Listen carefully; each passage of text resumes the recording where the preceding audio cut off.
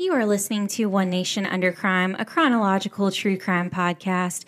Each week, we go through our nation's history and discuss one case from each year starting in 1800. I'm Kayla. And I'm Leah. And this week, we are taking a deep dive into Alexander Hamilton, Aaron Burr, and ending in a duel in Weehawken because everything is legal in New Jersey. Which we'll get to that, trust me.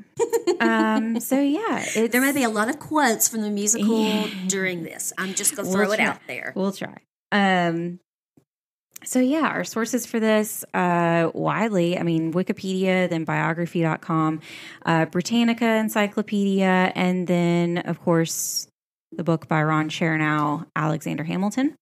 So we're in 1804. So this is kind of few of the things that were going on then. Uh, February 15th, New Jersey becomes the last northern state to abolish slavery. February 16th, in the First Barbary War, Stephen Decatur leads a raid to burn the pirate held ship USS Philadelphia, which we discussed Philadelphia in episode three. Uh, February 18th, Ohio University is declared by the Ohio General Assembly. March 26th, Orleans Territory is created, which turns into New Orleans later on. May 14th, the Lewis and Clark expedition departs from Camp Dubois and begins their historic journey by traveling up the Missouri River. And then December 3rd, Thomas Jefferson defeats Charles C. Pinckney in the U.S. presidential election. Mm-hmm. So, I'm going to go ahead and say it here. There will be quotes in this episode that do have some adult language. Yeah. I'm going to go ahead and say it now. And there's not going to be a trigger warning level on this episode. But there is plenty of scandal. Yes. To go around. If you've seen the musical, you already know some of it. so, uh, like I said, there is some language and some quotes. Um, can't really get around them too much, is what it is. It's what was said.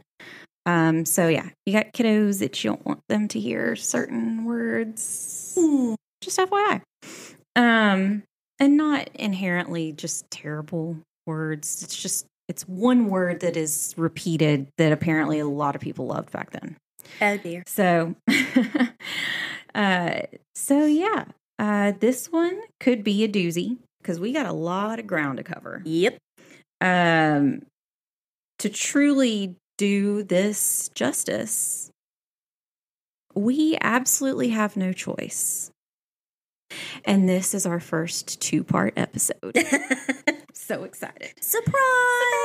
Surprise! It's our first two parter. Only only 5 episodes in we got to a two parter, but there really is there's so much information on both um, both men in these cases and you know, there's a lot to go around. Yeah. Um, I will try to keep the Hamilton references to a minimum but I'm not making any promises. Because sometimes you just got to move when the spirit leads you. and I might have put some Easter eggs throughout oh. the notes. So that's exciting. Yes. Um, and there is one part where I am going to directly quote for a bit straight from the show because um, it was the best way to describe something that was going on. And why reinvent the wheel?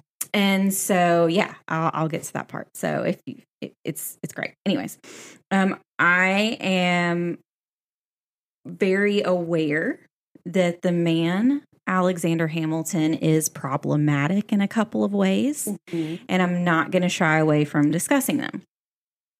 I can separate Lin Manuel Miranda as Hamilton from Alexander Hamilton. Yes. Um, but there's no denying that he absolutely was a genius. He I mean, was a genius. We will go over it. Like I said, in a few different ways. He's he is very very talented. There's a lot of things um, that that we have to thank him He's for. He's a polymath. Yeah, and a okay. Um, I was about to finish that, and I realized language doesn't need to come in that soon. Um, so yeah, Uh, this week, we will specifically discuss the life, military career, accomplishments, and downfalls of Alexander Hamilton. Yep. Next week, we will move on to Aaron Burr and the infamous duel in Weehawken. There's Mhm. also a little bonus section at the end of the next episode that I could not leave out. oh, So we will discuss it as well. I can't wait to see. You will you'll you'll like it. I know you will. Um so these men have a lot of history between them and it's accumulation of events that led to the duel like the end. Um, and so that's why it is important to go through both of their lives because there there are places where they do cross paths. You can kind of see um, along the lines of hamilton's life. Um, while they did have similar-ish childhoods um, not completely the same Right. and They had some common threads, but not exactly. Yes. And so, and I'll go ahead and tell you, um, you know, if you are a fan of the musical Hamilton, like we are, keep in mind that the musical is written from Hamilton's perspective. Right. And it's for entertainment. And therefore, Burr is the villain. Sure. Um, we will go through in the next episode Burr, and he does have his share of extremely impressive accomplishments Yes. that are not gone over. But he was also kind of trash. Yeah. So we'll discuss that as well because, uh, I mean, you know, they both had their shortcomings. they both do have their shortcomings. Uh, arguably, Burr would have more, um, more involved shortcomings. I'll go. say just very, just just wide widespread. But yeah, so we'll go through both of them and. If you are a fan of the musical and you have watched it, you've listened to it, you know, you're a huge fan of it, you'll also see how some artistic liberties were taken Yes, yes, yes. um, which were disappointing. Um, because I want it to be just like the musical. well, you do, but, I mean, you know, when you're trying to fit it into a show, which was masterfully done, Ugh, by the way, so well. you know, some things have to be pared down and have to, you know, be Right, changed they a do. little. Just like Mhm. with, I know they're totally not the same thing, but the Goldbergs, I love that show.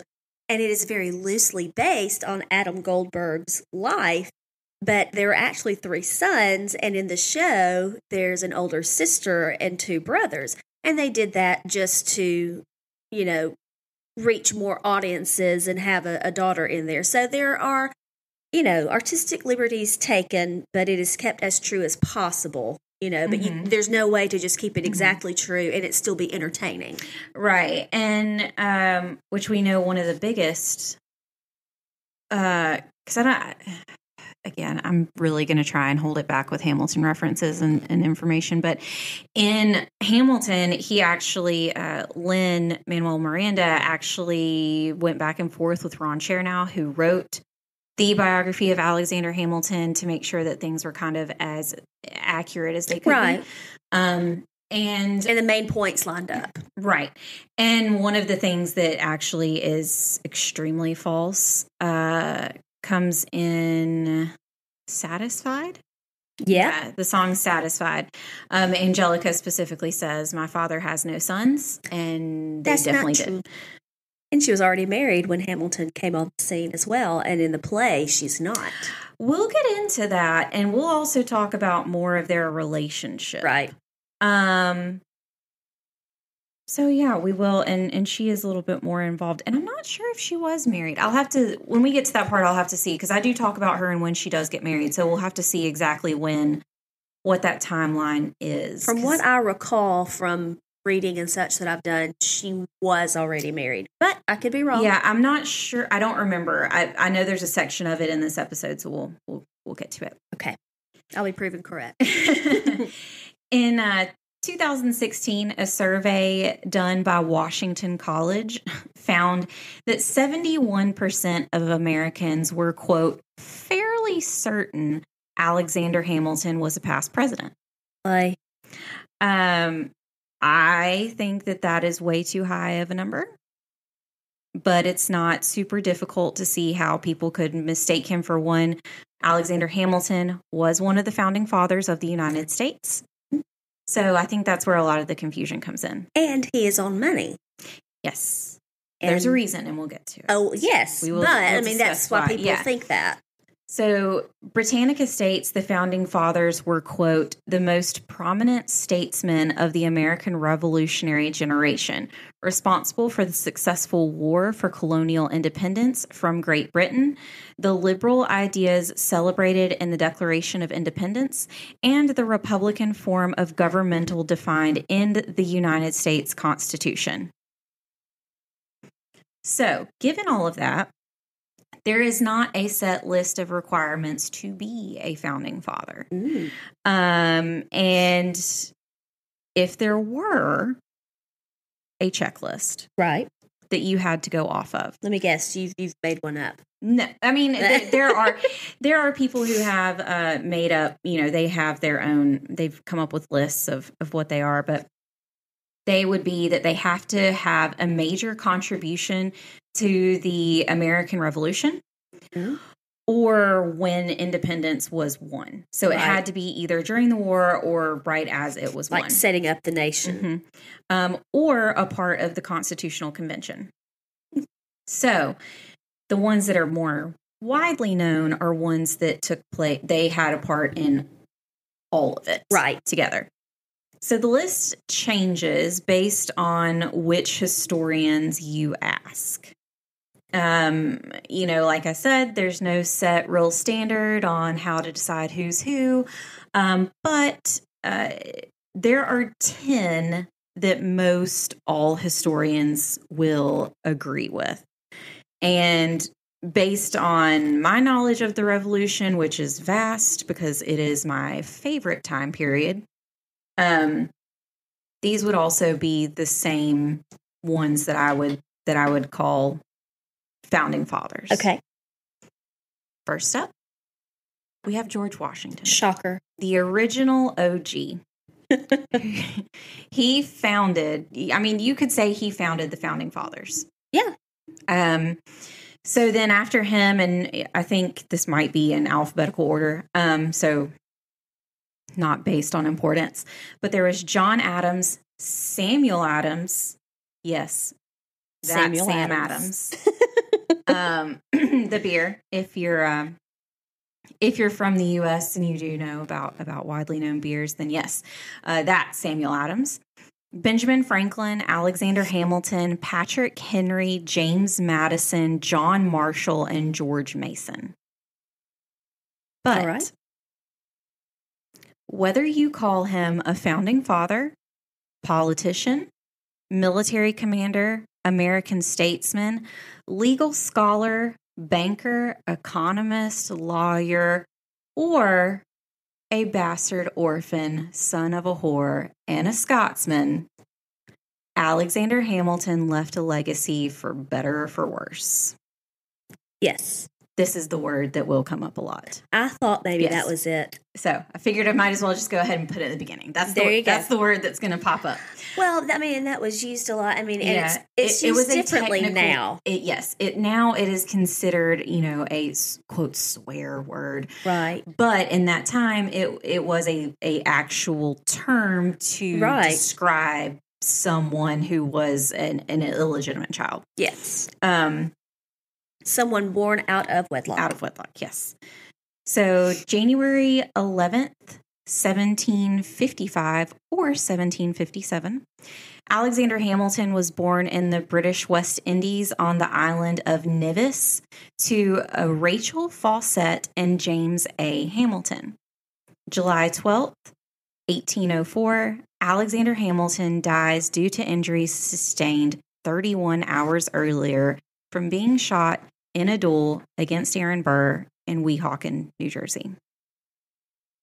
So, as you might have noticed, when I discussed his birth year, there's two different dates. Mhm. So, it's either 1755 or 1757.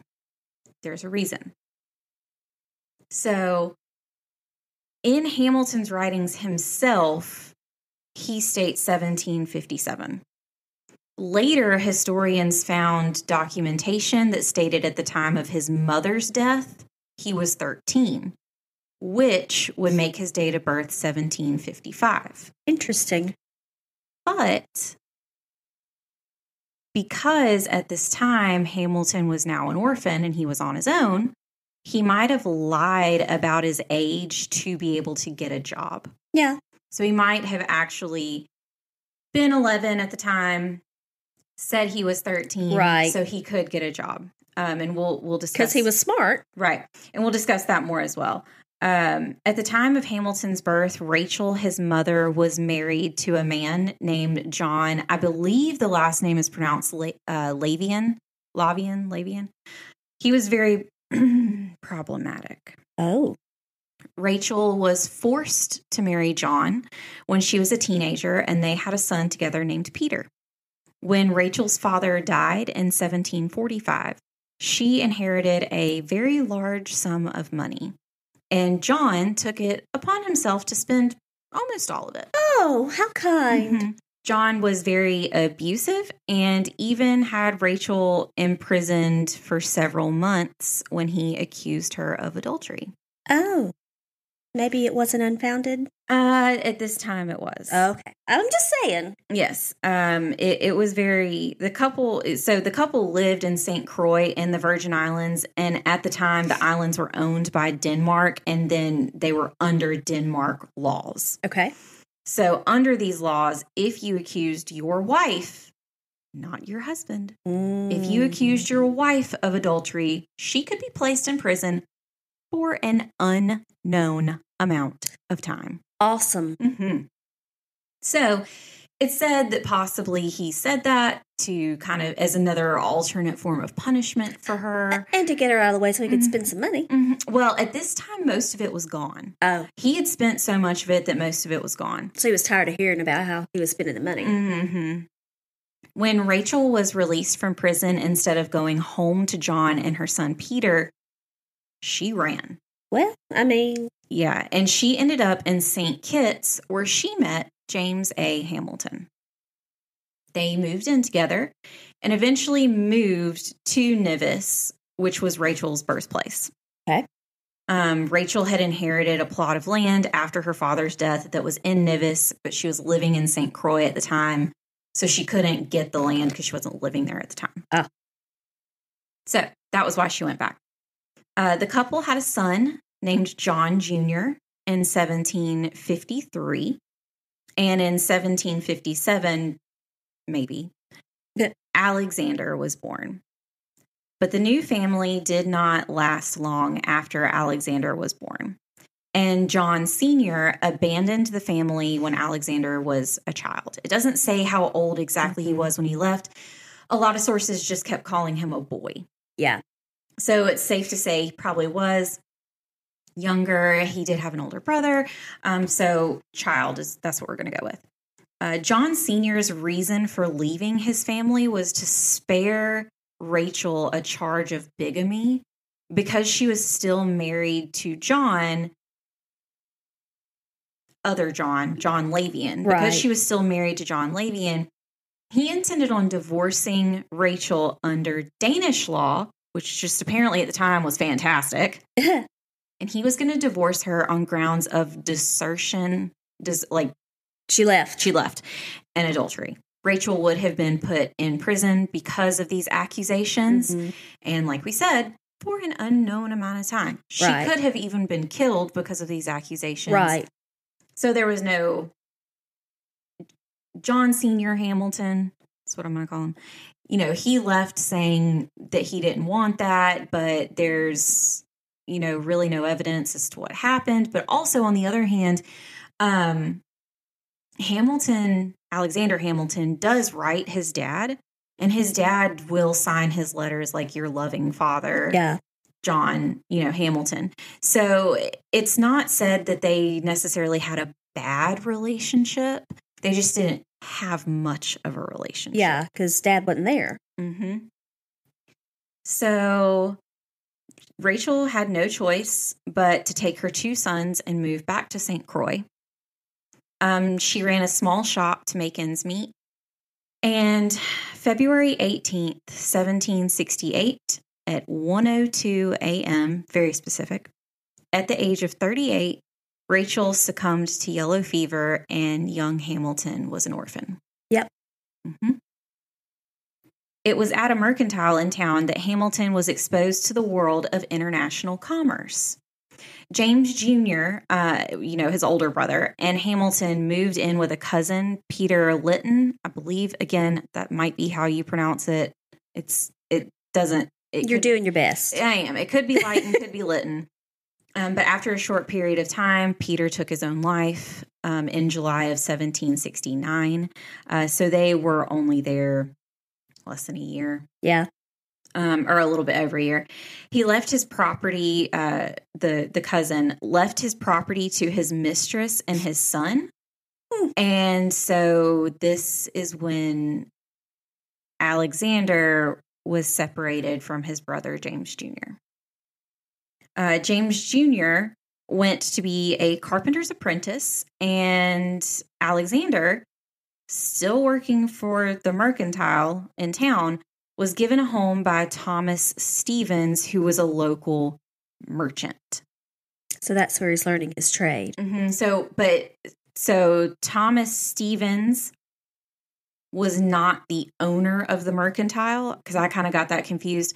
He was not the owner of the mercantile, but he was a merchant who did frequently work with that mercantile for bringing in goods from other places.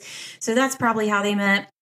There's also some speculation that which it's not true if you look at you know things from back then there was some speculation that thomas stevens might have actually been alexander's dad but anyway so Hmm.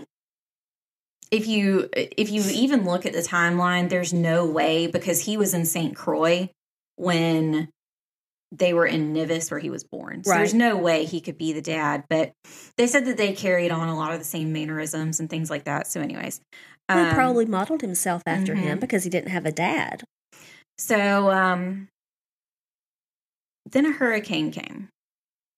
And the events on August 30th, 1772 changed Hamilton's life forever. All because of a letter. And this is just there's ever a way for your life to change. This is a crazy way. Yeah. Hamilton was still in contact with his biological father and wrote to him often. One of these letters detailed the events that devastated the island. So Reverend Hugh Knox was a tutor to Hamilton and he, you know, taught him how to write and you know all the flowery language. Well, he read the letter and submitted the letter to be published as an essay in the Royal Danish American Gazette. Hmm. So took this letter. This is an this is an essay now. Sent it to them. And once the leaders in the community read the essay, they then created a fund for Hamilton's education. In October of the same year, so this hurricane was in August. Mhm. So just in October of that year, um, Hamilton stepped off of a ship in Boston and made his way to New York City. He lodged for a little bit of time with an Irishman named Hercules Mulligan. I've heard that name. Mulligan had a brother who traded with the same men who paid for Hamilton to go to the colonies. Okay. So, yeah, so Hercules' brother worked with the same merchants in St. Croix. So that's how he got That's kind to of the know him. hookup, yeah. Mhm. Um, Mulligan helped Hamilton sell cargo to help pay for Hamilton's education and to basically help him keep a roof over his head in the meantime. In the fall of 1773, Hamilton uh, started as a private student at King's College. Um, and, and there is a difference between, apparently, in that time, between starting as a private student and starting as an actual student. Um, I didn't go into it because there's too much. Um, even though he went to the colonies for his education, his main interest became the revolution. Robert Troup was Hamilton's roommate in college, and Troup frequently commented on Hamilton's ability to consciously explain the Patriots' position against the British. So he's basically saying this guy can break it down as to why we're doing what we're Yeah. doing. He he can lay it out so that everybody can understand what's going on. Right. Um, unfortunately, Hamilton's education was cut short when the British occupied New York City and King's College had to close their doors. So then, Hamilton and a group of friends from King's College joined a volunteer militia called the Corsicans in 1775 after the battle at Lexington and Concord, which, if you learned about American history, that is the shot heard around the world. That's that battle. And if you're, since we have international listeners, apparently, if you um, if you aren't very aware of the Battle of Lexington and Concord, it was initially where the Patriots or Americans and the British um, they kind of had a standoff, and no one was doing anything, and someone shot. Mm. And they call it the shot heard round the world because it was the shot that started the American Revolution. It set off the chain of Mhm. events. So the Americans say that it came from the British, and the British say that it came from the Americans. Either way, whoever fired that gun started the entire American Revolution. So that's why it's called the shot heard around the world. I mean, everybody was kind of primed for it, but Mhm. nobody was ready to take the first step. hmm It's like we're not going to be held liable for starting this, but if you won't start it. So what I love to think of in this at some point is that this was just like some some like 17 year old that was like, Like, tripping was over fumbling. his gun and like and it's Oh, like Oh no, was that me? Oops. Didn't mean that. So Hamilton ended up uh, becoming a captain and fought alongside George Washington. It was the Battle of Princeton where Hamilton really proved himself. So January 3rd, 1777, Washington rallied his troops to charge against the British forces. The British fell back, um, with some just running to Nassau Hall, which was nearby, and others just running away from Princeton altogether. They just took off. Um, and Hamilton showed up with three cannons and fired on the building while other patriots were storming the front door. So they kind of trapped him in there. It wasn't long before a white flag appeared outside of one of the windows and the British surrendered. The Americans won the battle, and 194 British soldiers walked out and laid down their weapons.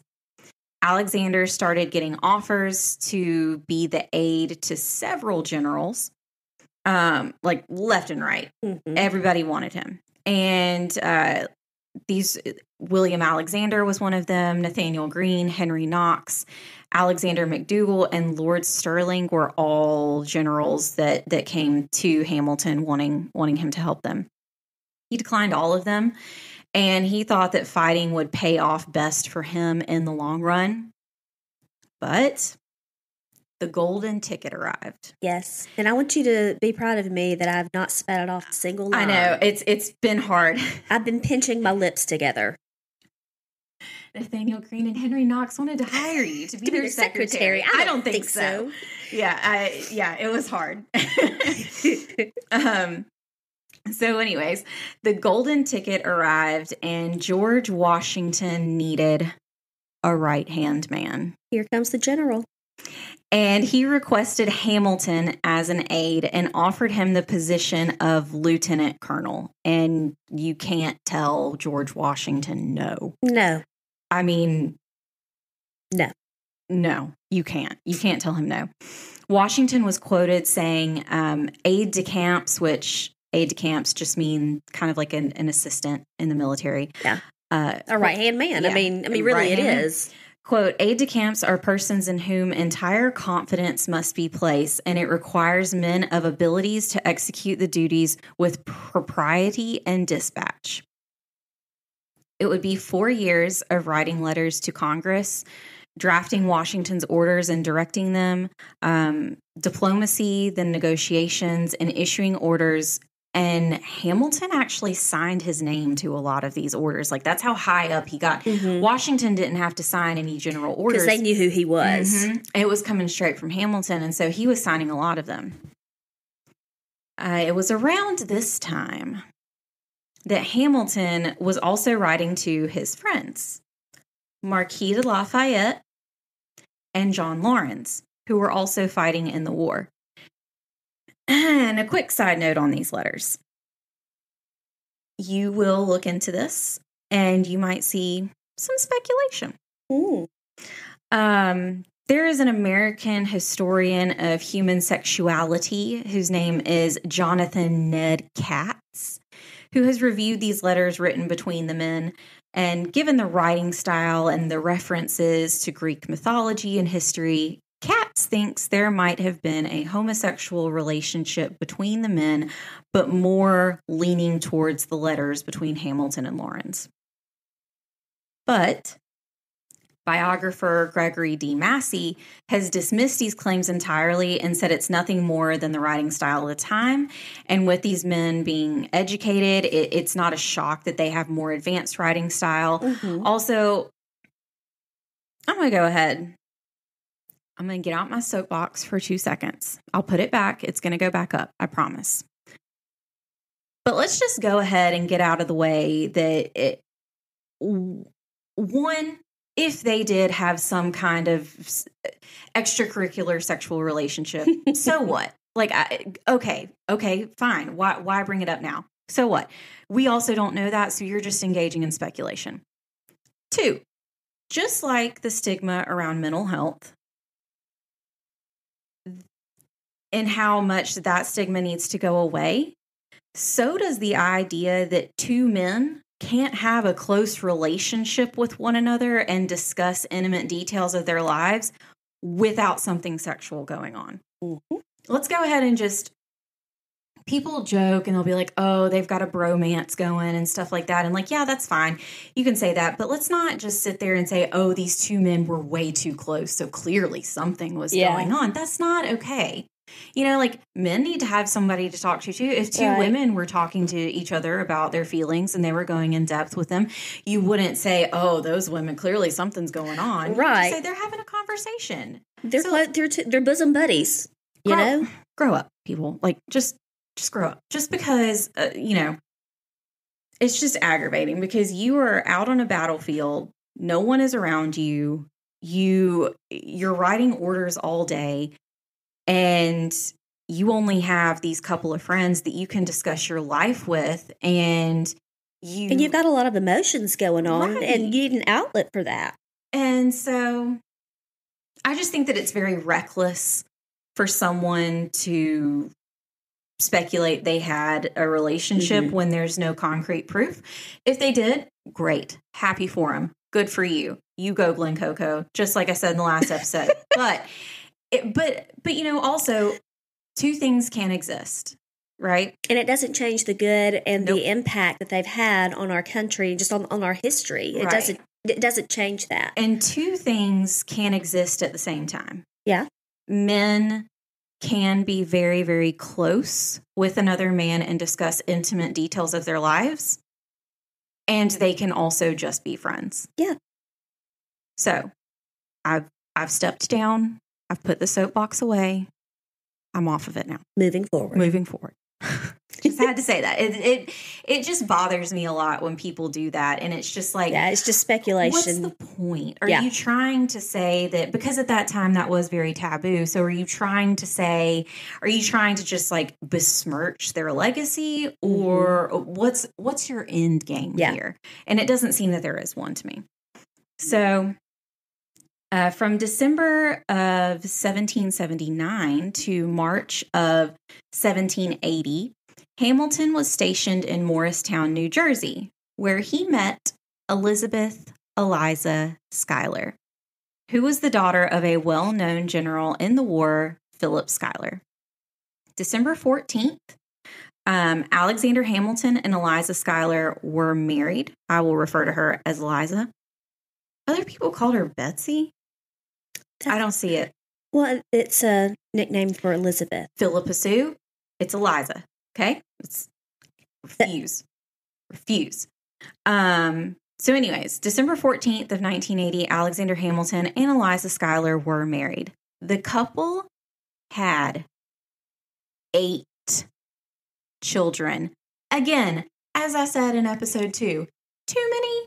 Yes. Too many. Too I mean, I have zero, so I, have one, and I'm and I love children, but it's really fun to be able to love on them and spoil them, spoil them, and then send them home. go home.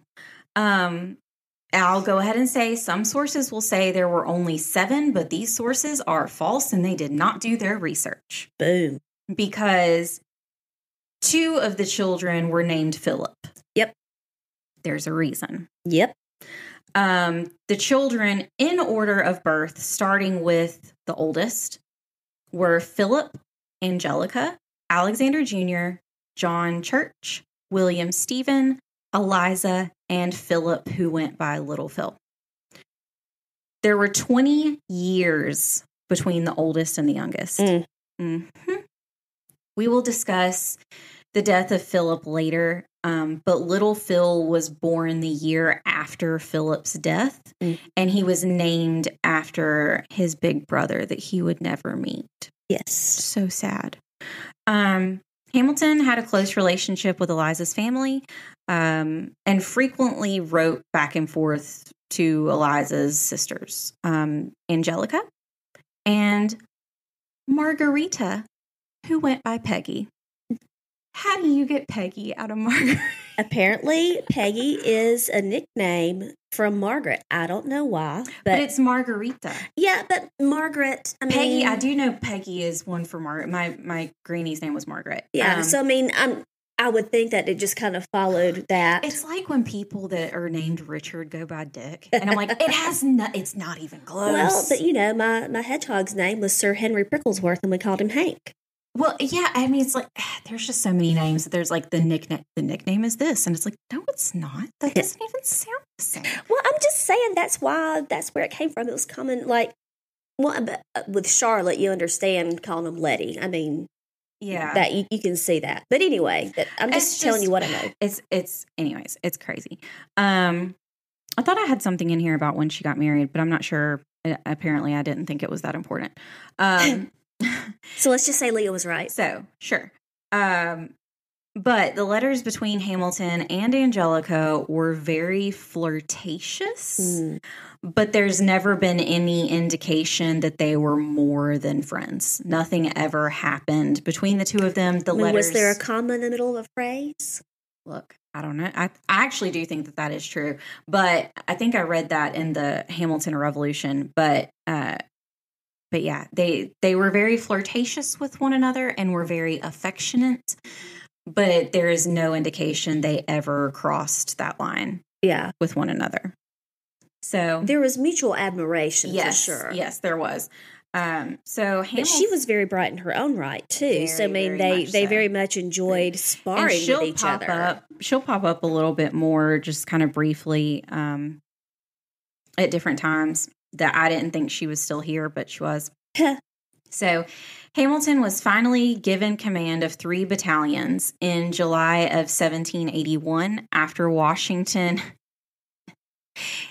Hamilton turned around and he gave Washington an ultimatum yeah, and said, that didn't work out so oh, well. oh, it did. Hamilton said, quote, and thus tactfully threatening to resign if I do not get my desired command. Boom. Under Hamilton's command at the Battle of Yorktown, his soldiers attacked at night and took over. It's kind of a type of fortress. It's too much. It was too much to actually go into and try and and, and describe. But it was basically a fortress that the British built. Mm. Um, a colonel for the British was heard saying, "quote Push on, my brave boys, and skin the bastards." Unquote. Ugh. This attack forced the British to surrender an entire army Wow. and it marked the unofficial end of the Revolutionary Mhm. War. Um, a few battles were fought here and there until the Treaty of Paris was signed two years later, but Yorktown marked the de facto end of the war, which de facto just means it was recognized by everyone to be the end, but by law it was not the end. right. It wasn't officially. Mhm. But that was the one that that ended it all for him. Once back in New York City, Hamilton took the bar uh, exam in July of 1782 after teaching himself the law for six months. Just six months. At the same time, he was appointed to the Congress of the Confederation, but only served for a year. When he was nominated by his father in law, Philip Schuyler, um, he was serving as an assemblyman for the New York State Legislature. Thankfully, some of his ideas were shot down because at the he was a radical thinker. well, not as radical as you would think. So, at the Constitutional Convention, he proposed the president and senators be elected for life. I mean, for the senators, right now, I'm. I'm too far off. Sorry. Um, they could be removed for corruption or abuse, and it would just be contingent on quote good behavior. Um, he wanted to take self government out of the Constitution, uh, which you know, okay, okay. Um, and said that the power should go to the rich and well born. Because hmm Which is funny Because he was neither. Well, John Adams referred to Hamilton as, quote, the bastard brat of a Scottish peddler. There you go. I think that's the last one. So Maybe. um there were some kind of thoughts behind these, you know.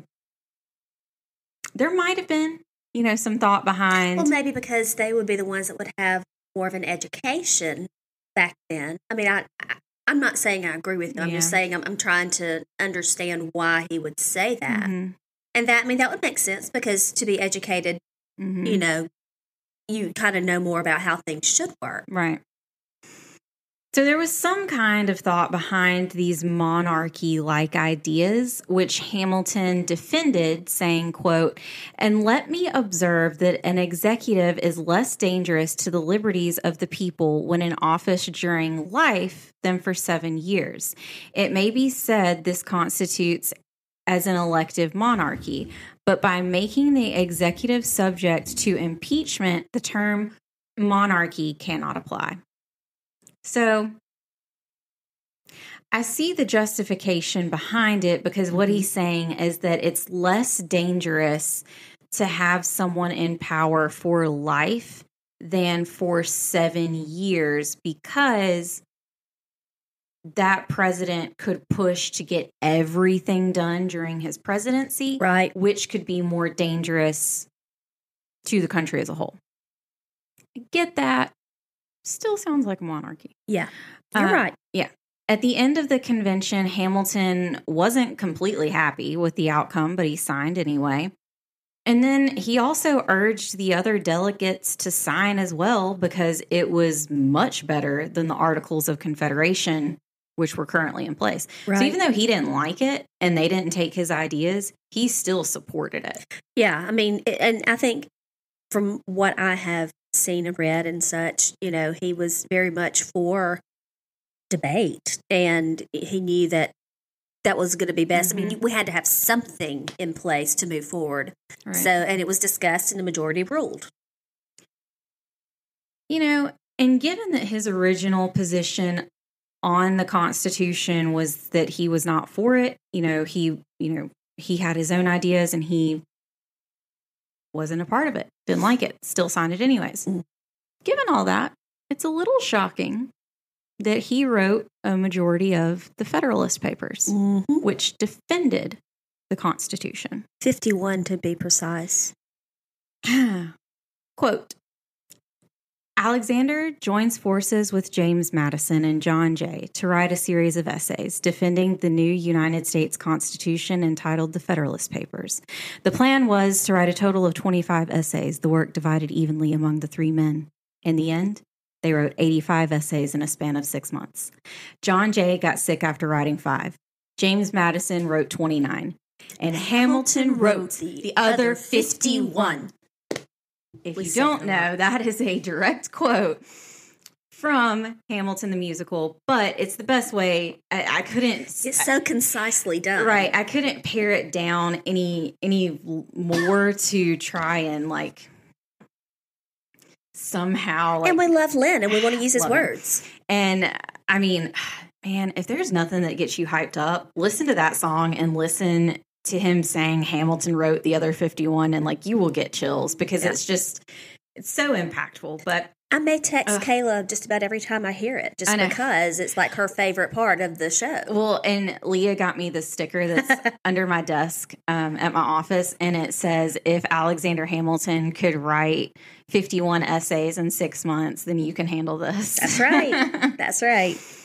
so, Washington appointed Hamilton as the first Secretary of the Treasury in 1789, and Hamilton had a laundry list mm. of accomplishments in this position. Some of these are the first report on public credit, establishing a national bank and the U.S. Mint, the start of the U.S. Coast Guard, the formation of the first political party, the Federalists. He established the New York Evening Post. He helped reopen King's College under the name Columbia College. And the unfortunate whiskey tax that led to the Whiskey Rebellion. Well, he can't be perfect. Yeah.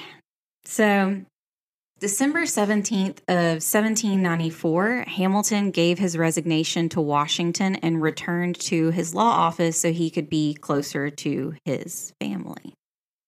Mhm. That was when Miss Maria Reynolds walked into his life. Rutro. America's first Wearing a red oh, dress. Ooh, yes. to which Ellie goes, "Why is Peggy wearing a red dress?" Anyway, so America's first sex scandal happened in 1797 when Hamilton was confronted about his sexual relationship with Maria Reynolds. James Reynolds, her husband, was well aware of the affair and extorted $1,000 out of Hamilton to keep quiet. Over the course of a year, including the initial bribe, Hamilton paid James Reynolds $1,300 to continue sleeping with Maria. Yikes. Want to take a wild guess at how much $1,300 is today? 5,000. That's always your guess. I- I'm, I'm not good with numbers. Was I right? 30 No. 30, no, $36,933. Mercy. Yeah. This would all come out in 1797 when Hamilton was accused of colluding with James Reynolds during the Revolutionary War. Three congressmen had known of the affair for a few years, and the men agreed to keep it a secret. But one of those men, James Monroe, was friends with Thomas Jefferson. Mm. And Monroe gave the documents supporting the affair to Jefferson. Mm. Then Jefferson sat on the documents for a good five years Biding his time. until it was beneficial to leak them to the press. And that is exactly what happened. Yep. Copies of the letters between Reynolds and Hamilton were published in pamphlets, and news was spreading that Hamilton was untrustworthy. This is when Hamilton released a retort called Observations on Certain Documents, or more commonly known as the, The Reynolds, Reynolds pamphlet. A The one a 100 page booklet Booklet. Booklet, not a pamphlet, a booklet. And it described the affair in very specific detail. Hamilton's reputation did take a large hit, and the affair did support the claim from Jefferson in regards to how trustworthy Hamilton was. Thankfully for Hamilton, Washington was on his side and held him in, quote, high self esteem for the rest of his life. So even though it happened, George Washington was like, nah, we're cool. Yeah. Yeah. Nah, he's cool. We, we all mess up. It's fine, bro. Well, I mean, I was going to say it, it doesn't even even that. I mean, we all all make mistakes, Mhm. absolutely, because, you know, hey, we're human. Just because somebody makes a mistake and makes a bad decision, hmm bad judgment, or a series of bad decisions doesn't negate the good that they have done Mhm. as well. And I Mhm. think so many people have have trouble Yeah, separating, separating that and two. seeing Mhm. that. You know, you can not like some things that somebody does, but still like other things that they do. hmm So Exactly. Uh, Washington and Hamilton were called back to military service for the Quasi War, and Washington flat out refused to actually go to battle unless there was a French invasion. So Hamilton served as essentially the head of the army. I mean, Washington had kind of put in his time. Yeah. Uh, and soon after that, you know, Washington died on December 14th of 1799 and Hamilton became the senior officer of the United States Army. This was 3 months before Hamilton would join Aaron Burr as co-counsel in the Manhattan Well murder trial on March 31st of 1800. Episode 1, if you're wondering. with an interesting piece of clothing. Um, little did Hamilton know the election of 1800 would be the breaking point between himself and Aaron Burr. John Adams and Hamilton had a very sordid past themselves, uh, with Adams running for reelection. Uh, Hamilton was determined for anyone else but Adams to represent the Federalist Party. Hamilton sent out a pamphlet to 200 of his fellow Federalists entitled Letter from Alexander Hamilton concerning the public conduct and character of John Adams, Esquire, President of the United States. A copy of this ended up in the hands of a Democratic Republican and it was published in the paper. Row. Uh, it did hurt Adams' prospects considerably and ensured that the Federalists would not win the election at Mhm. all. Uh, Jeff uh, Thomas Jefferson beat Adams, but Jefferson and Burr had the same number of votes at 73. Given that Hamilton was so influential in ruining Adams' chances, some Federalists in the House of Representatives looked to him for guidance. Uh, 35 ballots had already been cast in the Jefferson Burr runoff when Hamilton said Jefferson was, quote, by far not so a dangerous man, and that Burr was, quote, a mischievous enemy to the principal measure of the past administra- admi- administration. Hard word. Sometimes. Jefferson won. Um, at the time, the runner up became vice president, but after Hamilton's comment about Burr, Jefferson started to have his own concerns with Burr. And that was when he started to change that, that the, you know, he couldn't be vice president. And Jefferson actually like shut him out of a lot. And we'll go more into it in the next um, episode. So this leads us to the last and arguably most significant event in Hamilton's life before his death. We will talk about um, kind of, you know, more about what led to the duel uh, in the next one, but Mm. this is kind of the most last, the most significant event um, at this time. The oldest child of the Hamiltons was Philip Hamilton, which Google him. Philip, Google him. He is hot. He it he is very attractive. Um so anyways, he was born January 2nd of 1782. Philip graduated from Columbia College, which was what was formerly King's College, um, in 1800 and studied law under his father's supervision. It was said that Philip studied from the time he dressed in the morning until nine at night and even had to wake up at 6 a.m. to study. Ugh. Um, I don't wake up for 6 a.m. for anything No. ever, really. Then on July 4th of 1801, George Eaker gave an Independence Day speech. Philip became enraged when Eaker said that Alexander Hamilton would not be opposed to overthrowing Thomas Jefferson's presidency by force. On November 20th of 1801, Philip and a friend ran into Eaker at the Park Theater and verbal sparring ensued. Mhm. Philip challenged Eaker to a duel, and Alexander Hamilton told his son specifically to delope, which means you don't, you kind of like shoot at the ground or you shoot in the sky. That's what deloping is. Yeah. You- You're not going to You're not actually going to Yeah. aim at the other person. Mm-mm.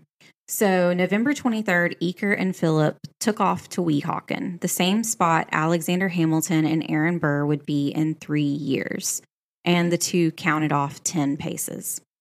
Eaker shot Philip above his right hip, and the bullet went through his body and lodged in his left arm. A fire from Philip's pistol. Uh, a shot was fired when from Philip's pistol, but uh, it was when he hit the ground, so it could have been an involuntary spasm from from being shot. Yeah. Um, you know, not really sure. Philip was rushed to his aunt Angelica's house in Manhattan. Alexander ran to Dr. Hosack's home, and he'll come back a lot more too. Um, so Alexander ran to Dr. Hosack's home to get Dr. Hosack and take him to Philip, which is the same doctor that would later treat Alexander. Ah. And it is said that when Alexander reached the Hosack home, he was, quote, so much overcome by his anxiety that he fainted and remained some time in my family before he was sufficiently recovered to proceed. Ooh. Um, Alexander finally reached Philip, and according to Dr. Hosack, quote, he initially turned from the bed and taking me by the hand, which he grasped with all the agony of grief, he exclaimed in a tone and manner that I that can never be effaced from my memory. And he said, Doctor, I despair. Mm. Philip died at 5 a.m. on November 24th of 1801, 14 hours after the duel. Alexander Hamilton had to be held up by friends and family at the funeral of his son. Philip is buried at Trinity Church in an unmarked grave near his parents and his aunt. Why unmarked? Because it was a duel? it doesn't say. Hmm. They never say why it's unmarked. Um, I don't think it was because of a duel because Alexander has has a marker. I mean, I just wondered. Um, I, I'm not sure. It could be that at the time they were only burying like prominent members of society in there. So I'm not sure. But to this day, it's it's supposedly still unmarked. I don't remember seeing it. So, but I wasn't looking um, either. right. So, um, Philip's 17 year old sister, Angelica Hamilton, suffered a mental breakdown from which she never recovered. Mm. Her mental state deteriorated until she became only intermittently lucid, and she sometimes couldn't even remember her, who her family members were. She spent the rest of her life in a state which was only described as a quote, eternal childhood, often talking to her brother as if he were still alive. That's very sad. On June 2nd of 1802, Elizabeth gave birth to their youngest child, with whom she was pregnant at the time of Philip's death. Um, they named the baby Philip Hamilton in memory of his older brother. So That's why there are two Phillips. Mm.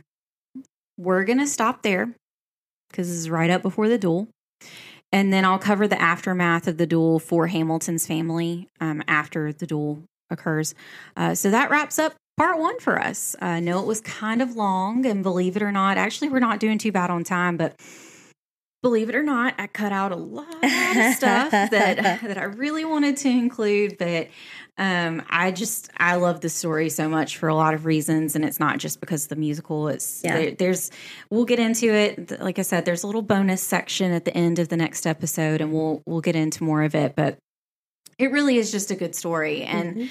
um, so many things were going on at that time. It's it's just you know and getting a, a better picture of the lives of these people that you've Mhm. heard about in your history books, like getting to know more about them and kind of what made them how they were, Right. who they were. It, it's interesting to me. That's what I love right. to learn about is, you know, what formed hmm them. So